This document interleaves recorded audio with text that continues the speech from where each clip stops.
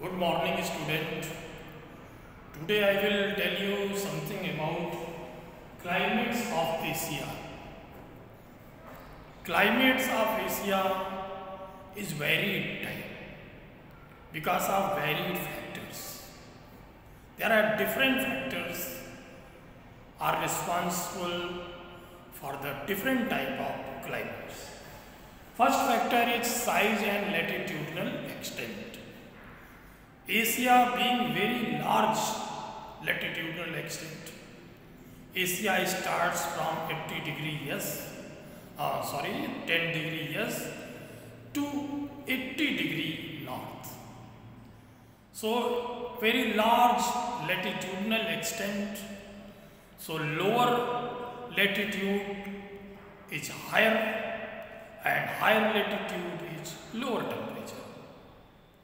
Lower latitude means equatorial Asia is very hot and 80 degree in Asia, north side, Japan, northern Japan, northern Russia, high latitude, they are very cold climate. So this is first factor, latitudinal extent. Second, distance from the sea. Asia has large coastline.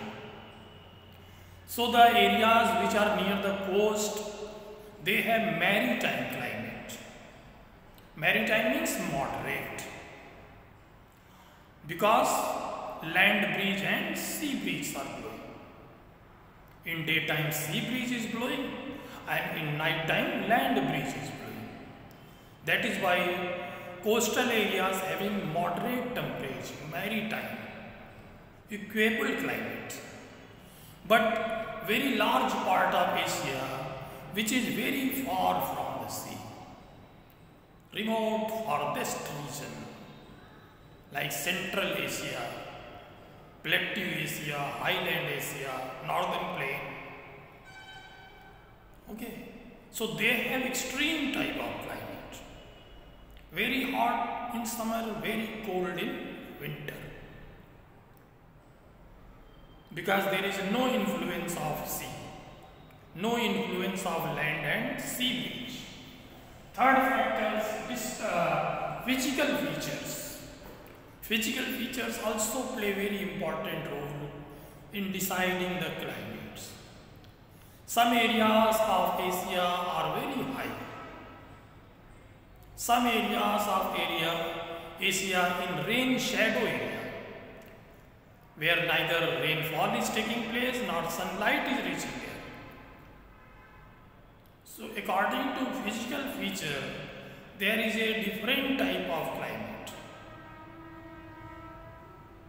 higher area, lower area, plateau area, plain area, low area.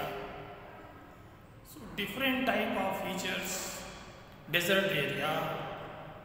So different types of temperature and climates are seen, physical features and winds. Winds also play very important role.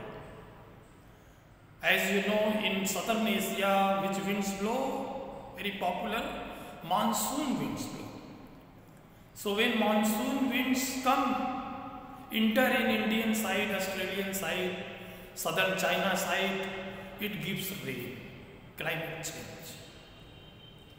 And other side winds are not reaching. They are away from the wind action. Okay. So winds also play a very important role in the climatic point of view. There are two types of wind, onshore and offshore. Onshore coming from sea. So they are full of moisture. And when they reach decreasing the temperature. And one is offshore. Offshore is coming from land side. So they are dry, no moisture. They can be cold or they can be hot, but dry.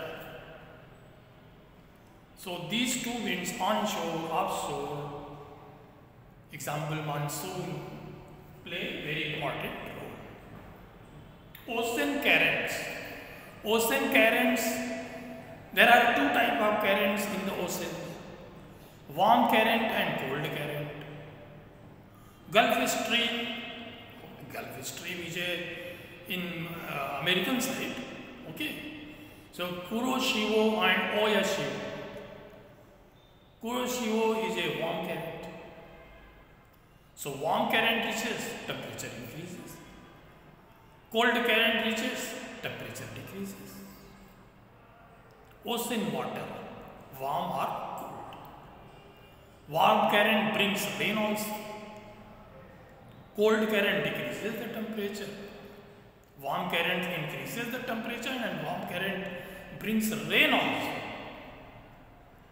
So these factors you prepare also.